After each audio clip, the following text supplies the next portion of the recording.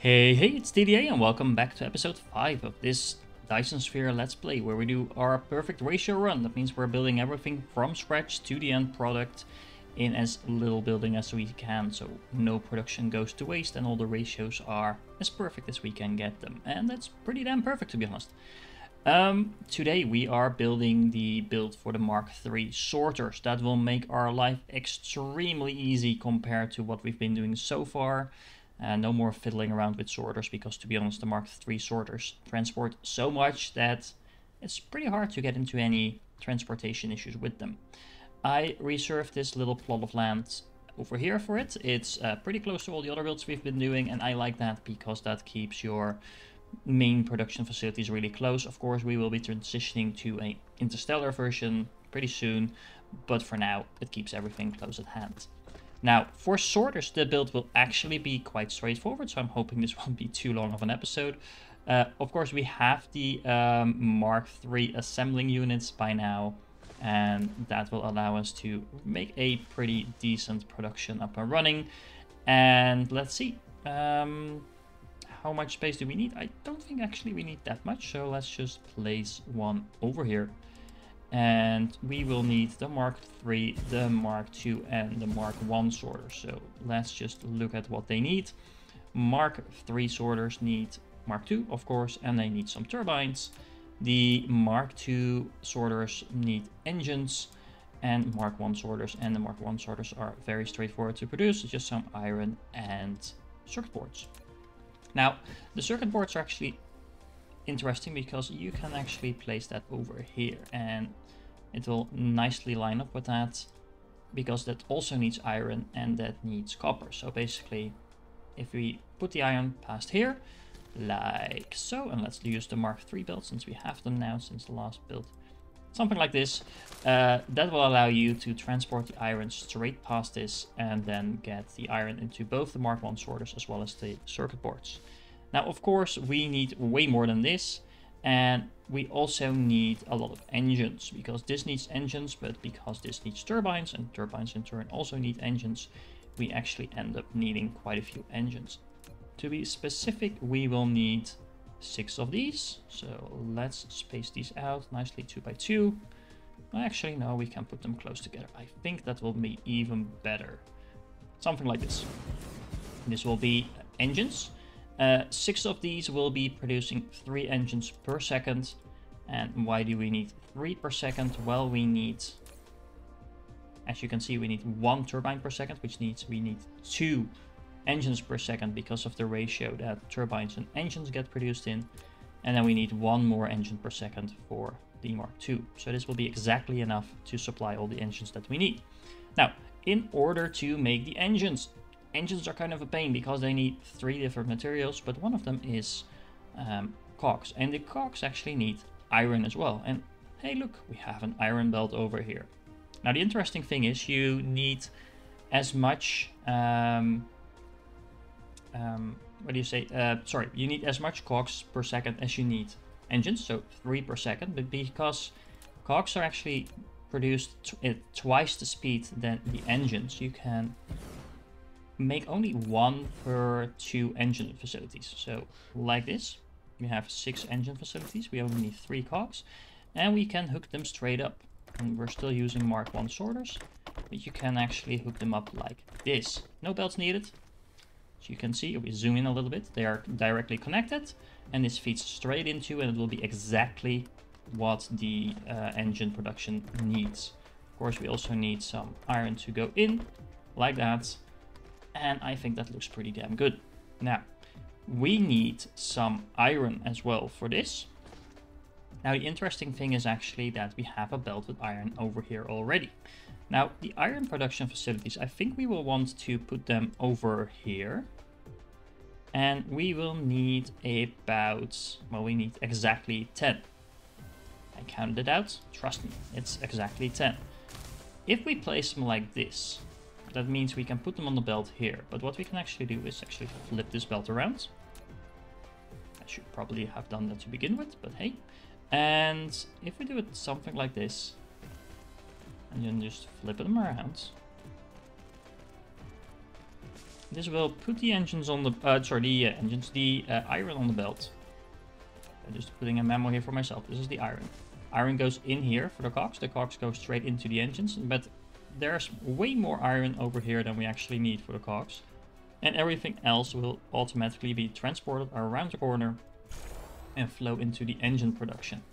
Now the engines need not just the iron, not just the cogs, but they also need the magnetic coils.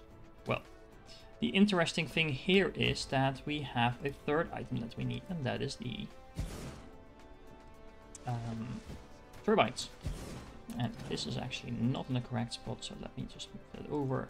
And let's put that over here. Now, the turbines, like I said, you need twice as much engine production as you need turbine production. So again, this is exactly a 2 to 1 ratio, similar to the cogs over here. So two go in here, and those two go straight into the turbines. Isn't that just perfect? No belts. No belts at all. Just straight up turbines. Now, the turbines also need magnetic coils. And I was just mentioning that because you need, as you can see, we need per assembling facility that produces turbines, we need um, two magnetic coils per two seconds, so that's one per second. So this is, uh, th this will need two per second total. And then on top of that, we will need, um, for this, we will need one per two seconds. So this is basically three per second because we have six here. So half per, a half per engine facility. So that means um, six is three per second in total. So we need five magnetic coils per second. Now, if we have a Mark II facility over here, as you can see, this will be producing two per one second or two per second. So this is two. Now we need three more. Now, this is a perfect ratio run. So if I would be using Mark II assembling machines, I would actually need to build two, but I would have too much. But if I build two of the Mark I versions, I do that, for example, like this, this will be producing coils as well, but because it's producing at a 75% speed, uh, you can tell that when you uh, hover over the icon, as you can see, the production speed is 0.75. So this actually does not produce um, one assembling machine in the example of this per two seconds, but it will actually produce um, at 75% speed of that. So 0.75 assembling machines Mark 1s per second. It holds for everything else that you put in here as well. So this will not be producing 2 per second, but at 75% of that. So that means this is producing 1.5 per second times 2 is 3 plus these two is 5 per second, which is everything that we need. Now, the nice thing is this is producing 1.5 per second. So if I hook that up like this and this, these are already supplied. And then I can also hook these up like that, and then this is supplied. And then I can hook this one up. And remember, this needs 1 per second, this needs 0.5 per second, so this is actually already completely drained. This is producing 2 per second, so what I can do is hook that up to this one and hook that up to this one. That will drain it off 1 per second total, and then the other 1 per second can go straight into here. Now, the only problem is all of these are supplied except for this one, because there's no coils going in here. So I will need to put in a belt all the way like this to make sure this is actually also getting supplied with magnetic coils. And that also means that I will need to export the magnetic coils out of here, um, which you can do in several ways, uh, but I will do that after this. Um, this fixes a pretty large part of our build already. So we have the magnetic coils, we have the engines, we have the cogs, uh, we have the iron over here, but we of course also need some base materials coming in. So something like this. That will be the um, iron ore. And then we also need magnets because of course the magnetic coils need magnets. Now we need about eight of those. And if you do it like that, I'm not sure why I'm doing them one by one, so let's just do it the quick way. Lack of item. Okay, well, that was not uh, well prepared of me. That's a bad TDA. Let's pick up some of these. We have plenty of them produced by now, so That is really nice. Alright. Where was I? Alright, I was making eight of these. And there we go. Why is it not working? That's because I didn't space them out correctly. I like spacing them out like this. Why? Because it's symmetric and this is a perfect ratio run, so we might as well get the symmetry right wherever we can. It will be rare, but hey, why not do it when you can though? Um, I'm really bad at this tabbing thing, aren't I? There we go. Okay, so now you might wonder, okay, well the magnets are on this side and we need to get them all, all the way to the other side. That's not a problem. We will simply do it like that. Zooming in a little bit. And wrap them around so they will reach all the places they need to go. Which is, to be honest, not over here because they only need to reach the magnetic coil production facilities. Now, that is the magnets done. And remember, because this can fit 30 per second now, remember we have Mark 3 belts, uh, this will be supplying both the iron as well as the magnets. So, so of course you can decide to put the magnets on the other side of this build, but then you have two builds of incoming materials. Not the biggest problem in the world, but I just like having them all on one side. Now we do need some uh, iron ore production as well, uh, mainly again for the coils. And this needs one per second um, times 0.75, so we actually only need one and a half per second at least for these two, and then we need two per second for that. So that means we need four. I can't make half smelters, unfortunately, so we have to overproduce them by a tiny amount. But there's no way around that. The ratios don't always end up being perfect, unfortunately. But we keep them as close to perfect as we can. Now, these are the outgoing uh, items. I am actually going to put them like this. And again, I'm going to wrap them up all around. Uh, again, you can easily decide to put them on the other side if you want. Uh, it's completely up to you. I just like having all the smelters on one side. Again, uh, it's nice and symmetric. And why not go for that if you can? Now, of course, we do need to supply them. So we have a small little build like this.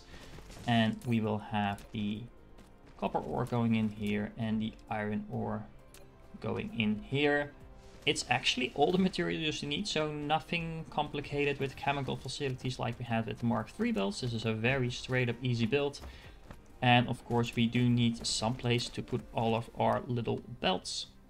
And I actually forgot one thing, so you can see me fail and self-correct here for a moment, uh, because these will not actually be working like we want them to because we have these turbines here, but they're not actually reaching the Mark III belt. So what we can do, uh, not belts, sorters. So let's do that like that. And then we just extend these out one more and flip them around like that. And I'm starting to talk like Bob Ross again. And that's not what we want. And look, by the way, look at the amount of foundations I have in my inventory. It's from that first foundation build we did. It's been overproducing so much. It actually has a full storage facility of foundations by now. It makes it so easy to just build wherever you want in your starting planet. Um, I always tended not to use foundations too much, but then you would run into an issue with all those lakes getting in the way. Um, so I really recommend, if you haven't done so, make a build like I did in one of the first episodes, where you have just a mass production of foundations going and take advantage of that. It's so easy. And again, soil pile is really easy to come by if you just flatten some earth around. I actually haven't intentionally been doing that because I'm flattening the uh, the areas around my builds and I didn't really put them on the lakes to begin with. I already have half a million uh, soil pile by now, so as you can see, it's a, it's a pretty straightforward way to get them. Okay, but anyway, this uh, makes our build pretty much complete. Of course, I do need to hook it up to some iron and to some copper. I will need to make all these other connections for the um, sorters. And then we have our Mark III sorters and Mark III belts done. So be right back while I do that. Alright, here we are. Everything is hooked up. We have all the raw materials coming in. We have all the things on the belts. Remember, this won't be functioning optimally as is because I'm still using the Mark 1 sorters. So, for example here, the circuit boards are drawing in the copper from over this belt, but it's uh, going at a really slow rate because of the Mark 1 sorters. And that means this is not producing at optimal speed. Now, that's not a problem, because you just want to get some sorters going, but as soon as you do, don't forget to upgrade all your sorters. I will be putting up the blueprint with the Mark 1 sorters, not because that's the final product, because that's the product you will initially want to place down. If I put all the Mark 3 sorters already in there, you will have to downgrade the sorters first before it gets up and running, and then you have to upgrade them again, so that doesn't make any sense. So please don't forget upgrade your sorters after you get some from this build. Similarly, go back to the Mark III belts place wherever you build it and make sure you upgrade the sorters there as well for the same reason and of course in that belt you should that build you should also upgrade your belts because that came with Mark 1 belts as well. Alright, I think this build is really nice and symmetrical so I hope you liked it. Um, before you go, one more thing. I just want to take a quick look at our system because if you remember from last time, in the last Let's Play at least, I had an interesting logistic problem with our silicon. We had a tidally locked planet, which was really nice.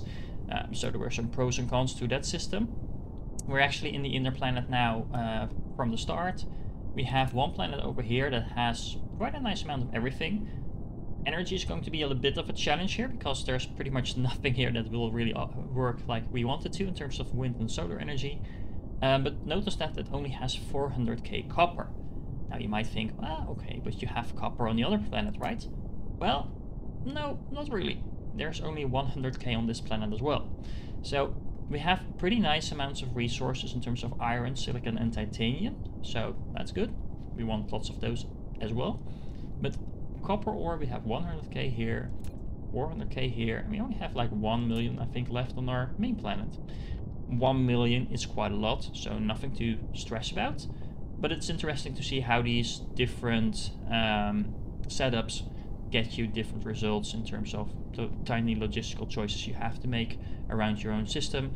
It also means that the first thing we want to be importing from outside of our solar system is basically copper, of all things which is interesting, I thought. Anyway, um, of course, we also do have a nice gas giant. Uh, where is it? There it is. Which produces fire ice in our case.